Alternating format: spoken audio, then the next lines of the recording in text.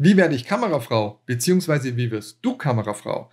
Welche Fähigkeiten und Voraussetzungen solltest du mitbringen, um in diesem Berufsbild zu arbeiten und als DOP, als Director of Photography in der Branche dein Geld zu verdienen?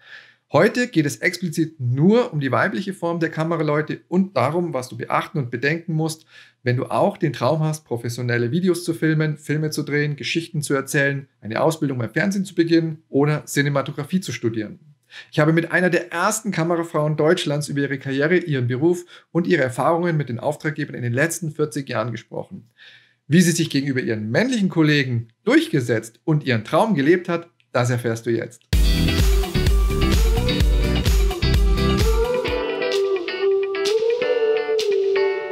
Herzlich willkommen zu einer weiteren Folge Bargespräche im Gespräch mit heute aus der Schmitzkatze in Tübingen und heute bei mir, es freut mich sehr, dass du Zeit hast, Ulla aus Stuttgart, Kamerafrau der ersten Stunde und äh, freie Dozentin in welchen Hochschulen? Äh, an, in Düsseldorf an der Robert-Schumann-Hochschule, Institut für Musik und Medien und in Reutlingen an der FH. Für äh, Medien- und Kommunikationsinformatik ist der, heißt der Studiengang. Und jedes Mal bin ich zuständig für Bildgestaltung bzw. Kameraführung und Lichtgestaltung. Kamerafrau der ersten ja. Stunde. Ähm, du bist eine der ersten Kamerafrauen, darf man das so sagen? ja, nicht ganz, nicht ganz. Äh, es gab, als ich angefangen habe, gab es äh, sieben Kamerafrauen. In Deutschland? In Deutschland, genau. Und ähm, ich habe ja auf dem praktischen Weg bin ich eingestiegen, weil ich vorher Geschichte, Politik und Englisch auf Lehramt studiert hatte und aber dann doch nicht Lehrerin sein wollte und plötzlich Kamerafrau werden wollte. Und äh, habe mir dann ähm, eine Praktikumsstelle gesucht. Äh, bei einer Kamerafrau wollte ich unter anderem auch äh, mit aber dann habe ich festgestellt, es gibt nur sieben Kamerafrauen. Also ja. du hattest gar nicht so viel Auswahl. Ich hatte nicht so viel Auswahl. Was war denn, der, was war denn der Aus, das auslösende Erlebnis damals zu sagen, boah, ich schmeiß das alles andere hin äh, und werde Kamerafrau? Wie kam es dazu? Ja, ganz komisch. Das war wie so, wie so ein Lichtstrahl, der durch mich durchging. Es war eine Veranstaltung in Stuttgart.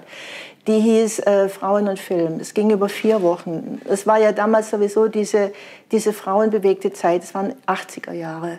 Und ähm, das hat man damals natürlich auch im Film irgendwie gespürt. Da gab es dann viele Regisseurinnen, die dann auch einfach auch auf, auf sich aufmerksam machen wollten. Denn ähm, vorher hat man die ja gar nicht so wahrgenommen. Und äh, bei dieser Veranstaltung, da gab es verschiedene Workshops oder Seminare und die Veranstalterin selber, die hat mich eines Tages gefragt, also ich bin da immer brav hingegangen, weil es mich interessiert hat. Und die hat mich mal gefragt, warum bist du hier? Und dann habe ich äh, gesagt, ich will Kamerafrau werden. Ist dir das damals klar gewesen, dass das heißt auch, äh, du bist selbstständig, du bist komplett unternehmerisch tätig werden? Oder weil das war wahrscheinlich äh, gar nicht so der Fokus, da warst nee. du erstmal künstlerisch unterwegs. Aber war das damals genau. dir klar, dass das heißt, ich muss komplett für mich alleine sorgen, ich muss schauen, dass ich im Jahr meine Aufträge kriege, ich muss meine Altersvorsorge planen, ich muss gucken, dass ich auch auftragsfreie Zeiten überbrücken kann. War dir das damals überhaupt, war das wichtig? Nein. Es war überhaupt nicht wichtig für mich. Wie hast du es denn? Ich war blauäugig. Ich war total blauäugig und ich habe alle Warnungen in den Wind geschlagen. Es gab Warnungen. Es gab Warnungen. Von wo? Es gab Warnungen von Seiten meiner Eltern, logischerweise, ja, ja. die natürlich sehr besorgt waren, warum ich jetzt nicht in diesen sicheren Hafen des Lehramtes letztendlich reingehe. Und es gab auch Warnungen äh, von einem Kameramann zum Beispiel vom SWR, also der damals noch mit einer Autorin verheiratet war, die ich da auch kennengelernt hatte bei dieser, bei dieser Veranstaltung. Und es gab natürlich auch Warnungen von von verschiedenen Freunden, also die auch gesagt haben, jetzt pass mal auf, ich meine, du hättest eigentlich ein sicheres Leben vor dir und möchtest jetzt hier in die Unsicherheit gehen. Okay, du hast es in den Wind geschlagen. Ja. Ähm, Gab es einen Zeitpunkt irgendwie in deinem Leben, wo du dann gesagt hast, oh verdammt, ich muss jetzt doch irgendwie mich diesen Themen stellen? Oder hast du irgendwann gemerkt, so hm, hätte ich es doch lieber anders gemacht? Gab es da einen Moment für dich? Es gab mit Sicherheit mehrere Momente. Ja. Also es gab ich würde mal sagen, bevor ich äh, wieder in die Lehrtätigkeit gegangen bin, die ja dann ein zweites Standbein für mich wurde, also ein mhm. sichereres Standbein, gab es wirklich Phasen, wo ich überhaupt kein Geld hatte. Mhm. Also wo ich keine Aufträge hatte, wo ich schlecht bezahlte Aufträge angenommen habe. Ich habe äh, sehr viel auch mit Künstlern gearbeitet und die Arbeit mit Künstlern ist sehr spannend aber sie ist finanziell wieder absolut unproduktiv. Also man verdient einfach nichts oder, oder sehr wenig. Und ähm, ja, und da habe ich auch äh, ganz andere Jobs zum Beispiel gemacht, um mich über Wasser zu halten. Hast du dir das damals so vorgestellt? Nee, das hatte ich mir, aber ich glaube, ich hatte mir, ich hatte mir gedacht, oh toll, Bilder machen, toll. Und so, das, das war für mich wie so, eine, wie so eine Möglichkeit, mich zu entfalten. Genau, das war es eigentlich. Ich wollte kreativ arbeiten und ich wollte auch Kamera machen, weil ich sehr praktisch auch begabt bin und weil ich das Körperliche an der Kamera arbeite. Also das habe ich auch geliebt. Äh, ja, ich hätte ja auch zum Beispiel Regie machen können. Na gut, sowas mit, meinem, ja, mit meiner Ausbildung, mit meinem Studium. Ist ja schon wichtig, dass man den Job auch liebt, weil man verbringt wahnsinnig viel Zeit ja, ja, damit. Äh, würdest du ja. wieder machen? Rückschau jetzt äh, mal. rückschauend, äh, wahrscheinlich würde ich es wieder machen, denn ich merke jetzt immer, ich bin jetzt wirklich am Ende meines Kameralebens ja. irgendwie angelangt. Darf man das sagen? Ja, natürlich. Jahre ein Berufsleben Ja, fast 40 Jahre, ja, kann man, kann man schon so sagen. Äh, ich würde es wahrscheinlich wieder machen, aber nicht nur. Ich würde es nicht nur machen, nee, weil ich schon gemerkt habe, äh, ich hätte noch viel mehr gebraucht, um äh, da auch wirklich eine richtig, so eine Karriere zu machen, dass ich wirklich richtig gut auch Geld verdient hätte. Denn das ist ja nie so eingetreten. Das heißt, ich habe nicht wirklich richtig gut Geld verdient. Das heißt, Thema Existenzangst ist immer wieder da gewesen. Also die Existenzangst, die war immer wieder da. Und äh, ich gehöre zu denjenigen, die sagen können, ich hatte vorsorgende Eltern, die dann irgendwann mal auch kapiert haben, okay, sie will es machen und ähm, es tut ihr auch gut, dass es macht. Und ähm, ja, wenn meine Eltern nicht gewesen wären, dann hätte ich wahrscheinlich finanziell nicht überleben können. Ist es dann nicht für dich auch so ein bisschen die Erkenntnis irgendwann, so dass man sich denkt, ich hätte es auch gerne allein geschafft? Ja, ist es irgendwie schon, natürlich, ja klar. Ja. Thema Altersvorsorge ist das, wenn du sagst, du hast ähm, nicht die Umsätze fahren können als Unternehmerin, die du hättest gebraucht, ähm, da fällt ja dann zwangsläufig alles hinten runter. Mhm. Wie sieht es da aus? Ich meine, du hast jetzt das Leben hinter dir, sozusagen das Berufsleben. Und ähm, wie, wie sieht es jetzt ganz konkret aus? Weil es gibt ja viele Leute, die auch diesen Job oder diesen Beruf ergreifen wollen und dass man sagt, ja, kümmert euch bitte aber im Gesamten auch darum. Mhm. Da, darf ich da so offen fragen? Ja, sicher. Also mit meiner Altersvorsorge sieht es nicht so gut aus. Ich kriege eine kleine Rente, würde ich mal sagen. Ja, okay. die ist wirklich minimal. Ärgert dich das? Das ärgert mich natürlich schon, aber ich, ich ärgere mich über mich selbst. Also wenn ich jetzt nicht, ich habe eine Eigentumswohnung, die habe ich auch abbezahlt. Da haben mir meine Eltern, also es war die große Hilfe, die haben mir das Grundkapital gegeben und ich habe das dann so abgezahlt. Also da ist es wirklich, das wirklich ja. total toll, dass ich eine Eigentumswohnung habe. Ähm, aber sagen wir mal so, ich hätte natürlich, ich könnte viel besser leben, wenn ich, wenn ich besser vorgesorgt hätte.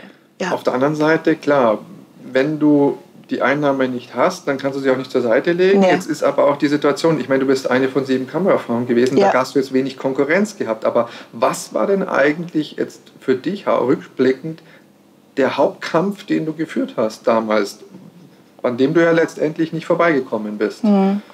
Also der Hauptkampf war mit, hatte sicher mit meinem Geschlecht zu tun, weil ich als Frau sehr viel weniger Jobs bekommen habe. Das ging ja schon los mit dem Praktikum. Ich wollte ja beim SWR Praktikum machen und der damalige Chefkameramann hat gesagt, nur über meine Leiche möchte ich eine Frau in meiner Kameraabteilung haben.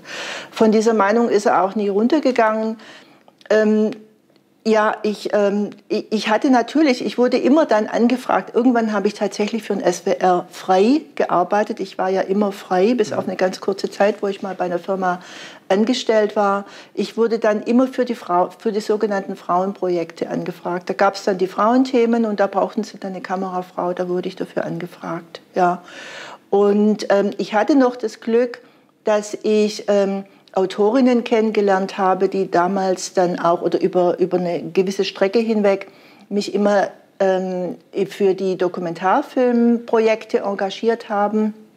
Äh, von daher konnte ich dann da schon äh, auch Sachen machen, die ich gerne gemacht habe. aber ähm, trotzdem war es schwer. Es war sehr schwer. Und für mich war vor allem auch klar, dass ich nicht in den Spielfilmbereich wollte. Du das wollte ich. nicht Ich wollte nicht. Ich wollte Dokumentarfilm machen. Dokumentarfilm und ich wollte mit Künstlern arbeiten. Und das ist natürlich, Eine ganz das ist eine Kombination. schöne Kombination, um wirklich wenig Geld zu verdienen, würde ich mal so sagen. okay, Dokumentarfilm ja, und mit Künstlern arbeiten Okay. heißt, Ähm, Ja. Jetzt rück- rückblickend jetzt ähm, wirklich nochmal, wenn jetzt jemand Junges anfängt, also eine junge Frau, die jetzt sagt, ich möchte jetzt unbedingt Kamerafrau werden, was würdest du der mitgeben als Tipp?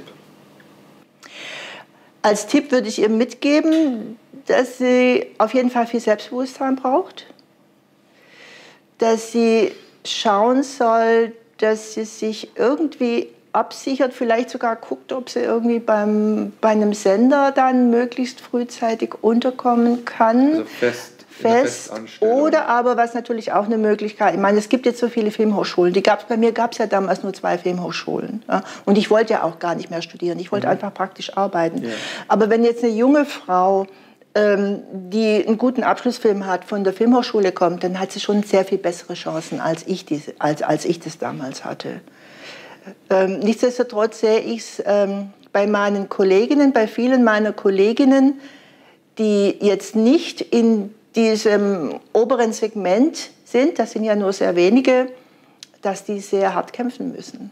Das heißt auch, dass unter Umständen der Lebenspartner ein großer Faktor ist, ob dieser Ja. Beruf ausgeübt werden kann oder nicht. Genau, genau, genau das.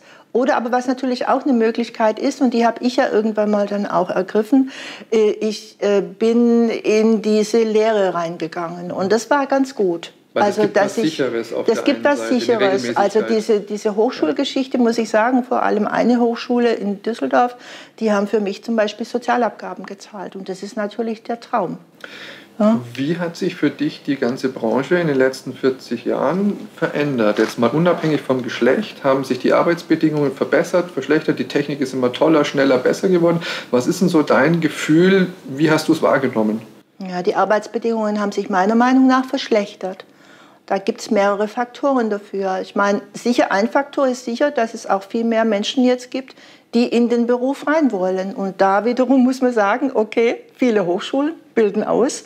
Die Leute sind alle dann auf dem Markt und da ist inzwischen schon ein ziemlich harter Konkurrenzkampf dann auch, denke ich, ausgebrochen. Das und heißt, es das- lohnt sich gar nicht mehr, heutzutage Na. jetzt in diesen Beruf zu gehen, oder? Wäre das, würdest du sagen, es ist eigentlich kein Zukunftsberuf? Also, um das ist, jetzt, das ist jetzt natürlich, wäre sehr negativ, denn ich weiß ja, dass, also, dass dieser Beruf natürlich ein sehr kreativer Beruf ist, ähm, dass er einen total begeistern kann. Und ich muss von mir aus sagen, es hat mich immer sehr begeistert. Aber man muss überlegen, ob diese Begeisterung diese finanzielle Geschichte aufwiegen kann.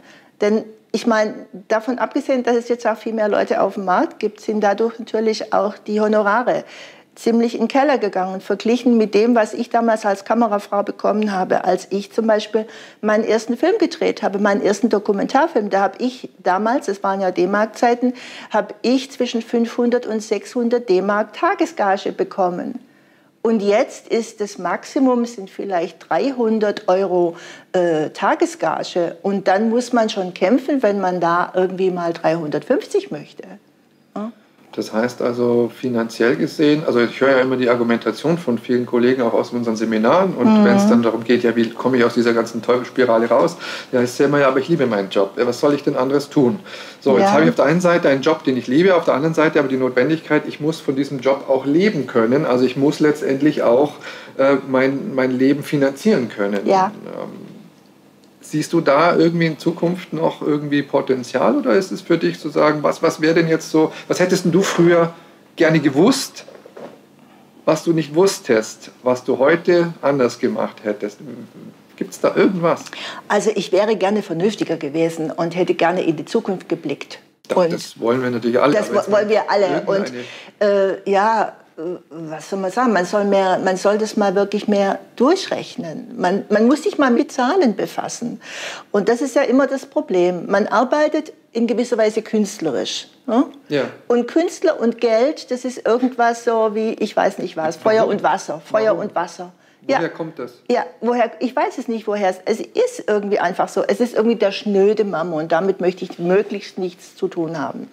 Ich habe wirklich, wenn ich mir überlege, wie viele Leute mir gesagt haben auf all diesem Weg, dass ich ein bisschen und sei es nur, dass ich in diese Pensionskasse gehe beim beim Funk, ja. habe ich ja auch nicht gemacht. Ja?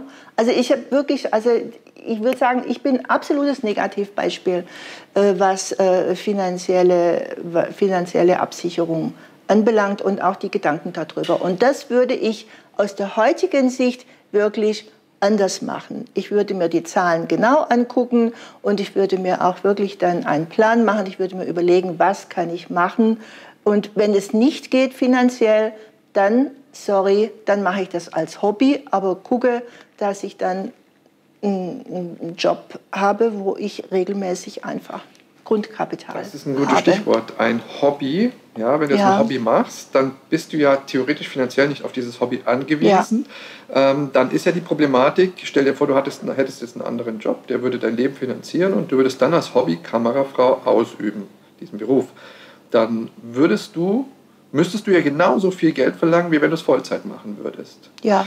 Das würde natürlich voraussetzen, dass du solidarisch gegenüber den Leuten bist, die, sag ich jetzt mal, Vollzeit davon leben müssen. Ja, klar. Weil du ja sagst, du machst es als Hobby. Wie ja. sieht es denn mit der Solidarität in der Branche aus? Also ja. ist das, sind das ja alles das so Einzelkämpfer-Thema, habe ich so das Gefühl. Ja. Jeder ist so für sich selber klar. Unternehmer sind natürlich an dem Punkt, dass sie sagen müssen, okay, ich habe das Risiko auf mich genommen, ja, und ich muss selber schauen, also ich habe das Gefühl, ich kann das besser als andere, aber natürlich auch das Risiko in Kauf nehmen, dass ich auch alleine scheitere. Ja. ja? Wie ist es in dieser Branche? Ist das ein Haifischbecken oder sagst du, wow, super, wir sind alle irgendwie gute Freunde? Was ist deine Erfahrung? Ähm, also meine Erfahrung im Moment ist eher negativ. Leider, leider, leider. Denn ich ähm, habe ja jetzt äh, mit der Caroline Rosenau zusammen diese Initiative Solidarität mit den Medienschaffenden haben wir ja gegründet. Und, äh, und äh, ich würde sagen, also ich bin sehr frustriert, weil ich merke, dass die Kollegen sehr wenig Interesse haben oder selbst wenn sie das Interesse haben, dass sie nicht bereit sind, dafür zu kämpfen. Umreiß mal kurz diese Initiative. Was macht ihr? Was ist euer Ziel? Wie ist das, kann man sich da engagieren? So. Ja, ne, man kann sich engagieren. Es gibt ja auch eine Website. Man kann auch zu den Treffen kommen. Wir haben, wir haben äh, regelmäßige Stammtische gemacht. Die machen wir momentan nicht mehr, weil immer nur eine Person zu dem Stammtisch gekommen ist. Am Anfang war das Interesse groß, weil immer alle denken, oh, jetzt kommt irgendwie was Neues und das ist dann heilsversprechend und ich weiß nicht was. Aber keiner denkt dann daran, dass man eben dann auch mitarbeiten muss, dass man diese Solidarität auch nach außen tragen muss. Nach außen tragen bedeutet natürlich, wenn ich einen Auftrag bekomme und die Gage ist viel zu niedrig, ähm, dass ich dann sage, sorry, ich möchte das zu diesen Bedingungen nicht machen. Und, ähm, oder dann einfach versuchen, ja, zu kämpfen, würde ich mal sagen, ja, zu, zu verhandeln.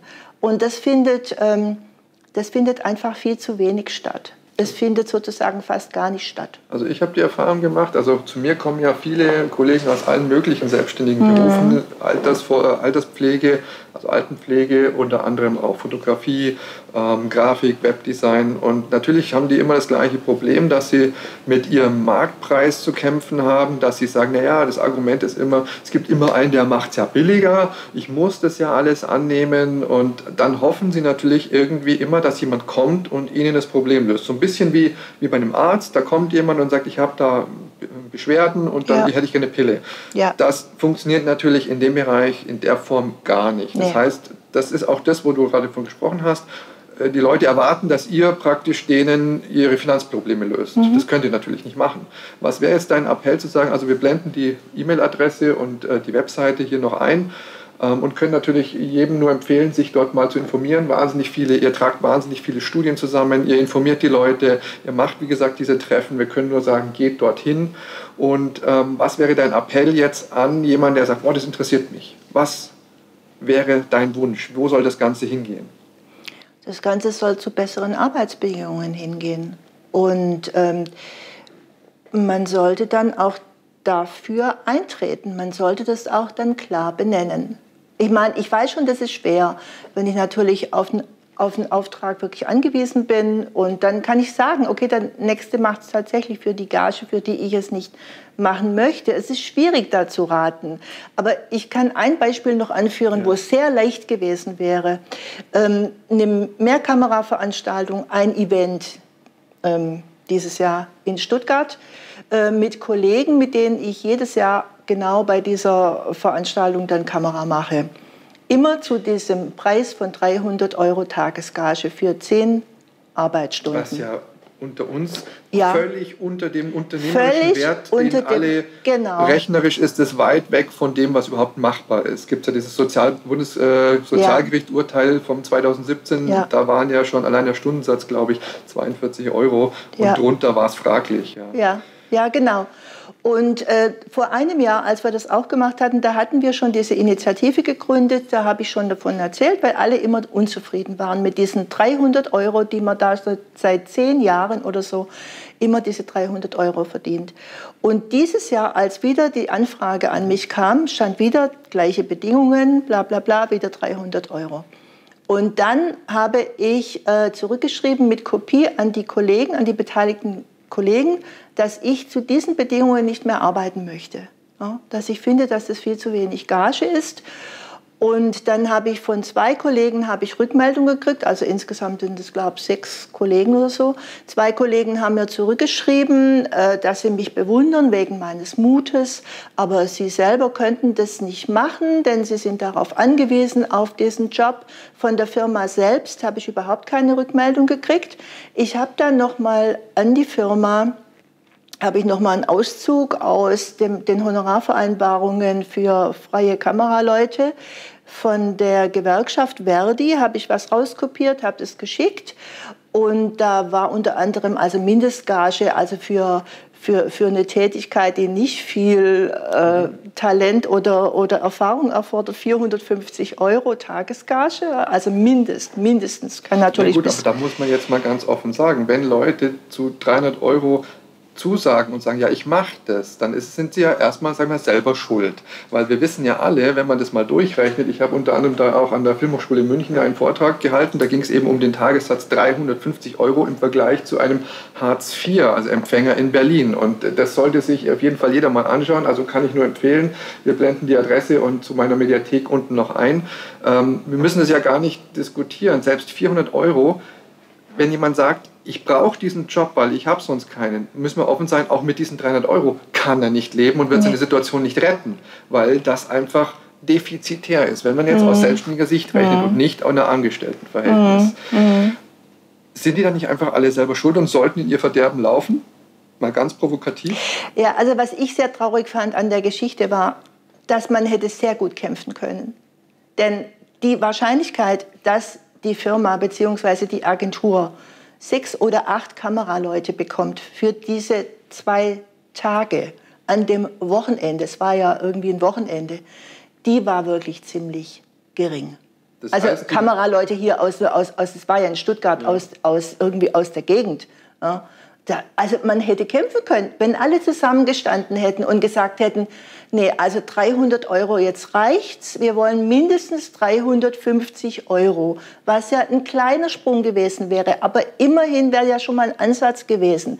Es wäre so leicht möglich gewesen. Aber es fehlt an der Solidarität. Es fehlt an der Solidarität. Und meine Erfahrung ist, ich weiß nicht, wie du es wahrnimmst, auch an dem Verständnis, dass diese Zahlen, die da genannt werden, dass die oft nicht betriebswirtschaftlich verstanden werden. Was bedeuten 300 mhm. Euro in mhm. einem Jahresvolumen und in der mhm. Auslastung? Das ist ja. den Leuten nicht klar. Und selbst wenn du sagst, ja, wir wollen 350 Euro, dann verstehen die Leute ja die Forderung gar nicht. Also die mhm. Kollegen verstehen nicht, warum ja. 350 und warum nicht 320 ist doch auch okay. Aber dass das alles dermaßen weit weg ist, wenn wir jetzt diesen kalkulatorischen Richtwert von 85 Euro Stundenlohn in Deutschland nehmen mhm. für Selbstständige mhm. mit einer mhm. Vollabsicherung, dann sind wir da ja, sag ich mal, um, um 60 Prozent drunter unter dem, was wir eigentlich bräuchten. Und das heißt, ist es nicht absurd, dass zum Beispiel in allen anderen Branchen, zum Beispiel, ähm, dann nehmen wir mal die IT-Branche, in anderen Branchen ähm, anerkannt 70, 60, 70, 80, 90 Euro Stundenlohn akzeptiert werden im Handwerk und dass wir aber zwei Branchen, wie zum Beispiel die Pflegebranche oder auch die komplette Film- und mhm. Fernsehbranche mhm. haben, die eigentlich in, mit, mit völlig defizitär arbeitet. Das ist, ist, das ist doch absurd. Und trotzdem ja. glauben alle, dass es viel ist. Ja, ja, ja.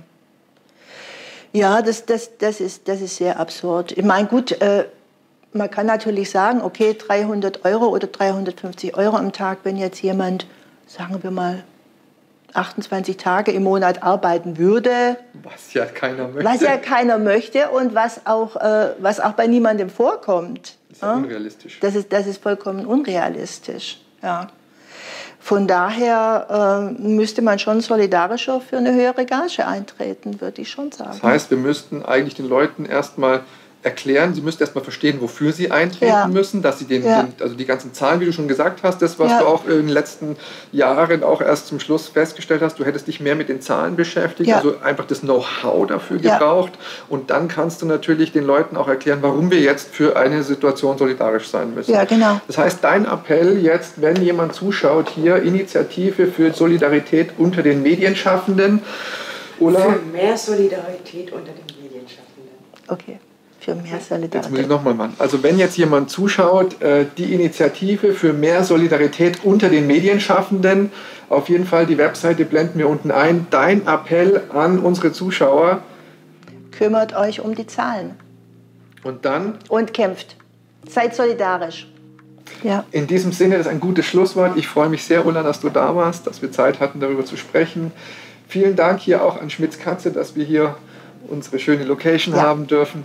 Und äh, schalte wieder ein, wenn es wieder eine nächste Folge gibt aus der Reihe Bargespräche im Gespräch mit. Und vergiss nicht, den YouTube-Kanal zu abonnieren, damit du sofort erfährst, wenn es wieder was Neues von mir gibt. Und wenn du auch eine Meinung dazu hast, Solidarität in der Medienbranche, ja oder nein, sei es auch im Grafikbereich oder in anderen Branchen, dann hinterlasse einen Kommentar und wir werden uns diesen ganzen Fragen annehmen. In diesem Sinne, Ulla, vielen Dank fürs Gespräch. Ja, gerne. Und bis zum nächsten Mal. Bis zum nächsten Mal. Ciao.